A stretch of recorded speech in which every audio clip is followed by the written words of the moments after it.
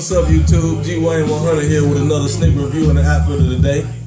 I'm not going to do a real in-depth review because this shoe has been reviewed over a thousand times. I'm sure you've been on YouTube and you can see it. But before I get into my review, I want to thank all the people that have watched my previous videos. And I want you to right now hit that little arrow on the side, go down and make a comment, and subscribe if you haven't. All feedback is needed so I can make this channel better. Without further ado, let's get into the review.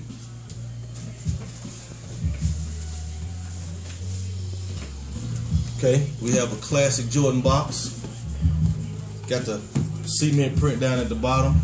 As you can see, this is a size 10, my size. This was a much anticipated shoe for me. So let's open up the box and see what we got.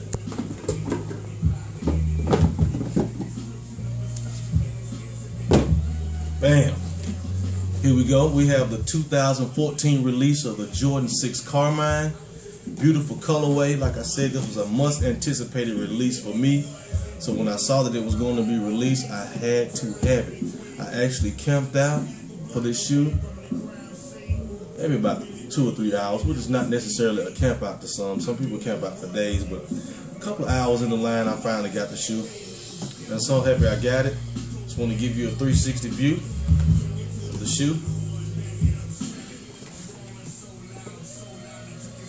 Got Carmine red on the upper, mixed with white leather. The, classic Jordan 6 tongue. And if you sit tight for just a second, I'm gonna give you an outfit of the day as well. Here we go, YouTube. Check me out.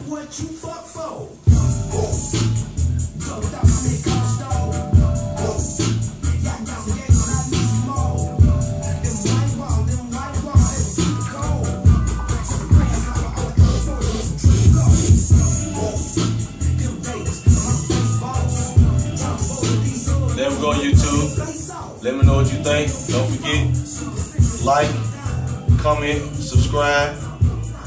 Don't forget, good things come to those who hustle. Get your money.